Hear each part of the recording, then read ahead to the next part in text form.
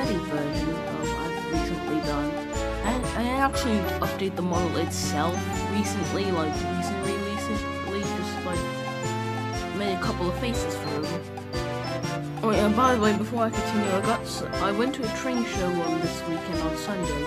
and got a few things, a turntable, um, some well, some little figurines for the setup for the people,